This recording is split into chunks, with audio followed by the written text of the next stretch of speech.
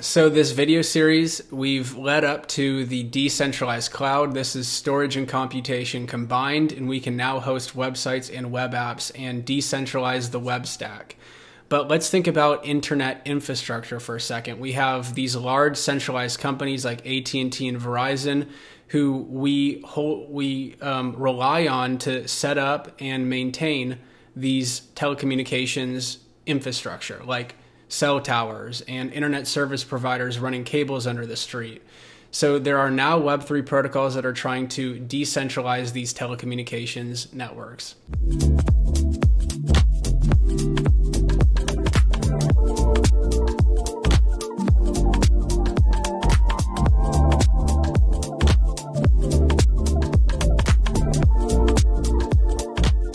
So let's start with Helium, potentially the most well known decentralized telecommunications network.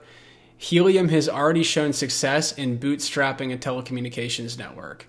Let me just backstep and say that it's been very hard for innovative disruption in the telecommunications industry because telecommunications networks are expensive to set up. You have to purchase the right from the government to broadcast over a certain frequency range and then you have to develop proprietary hardware and software in order to transmit signals across this frequency range. So, this is a very large capital expense in order to set up the infrastructure necessary for a telecommunications network. But um, Helium has shown how you can we can bootstrap the supply side, we can bootstrap the the um, nodes and the transmitters with cryptocurrency incentives. So Helium started this with a, a, a LoRaWAN IoT network. This is a um, devices or transmitters that allow uh, small IoT devices to connect to and connect into the internet. And um, it if you set up a LoRaWAN transmitter, then you received cryptocurrency as an incentive. And so many people started doing this around the world. And then all of a sudden, you have an entire IoT network built out for the consumers, the the people with IoT devices to come in and use. So this is a really incredible breakthrough in web3. You can bootstrap a physical network in the real world with crypto incentives. Helium is expanding beyond just this IoT network into 5G so now you can be a 5G hotspot supplier. Like every home or every person can be walking around with 5G hotspots for everyone else's phones to connect to. And it's really going to increase and improve the uh, connectivity of our society. And they're also looking into uh, Wi-Fi and VPN and a couple other networks, but they're trying to be what they call the Airbnb of a telecommunications network. And there are several other specific Web3 protocols that are trying to bootstrap other physical networks. We've got Foam Protocol, which is trying to do something like decentralized GPS.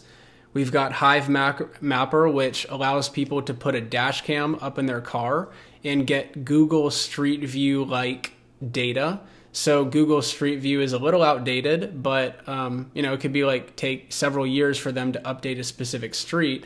But if we distribute this all of this data collection out to a network of millions of people, then uh, we can improve that service.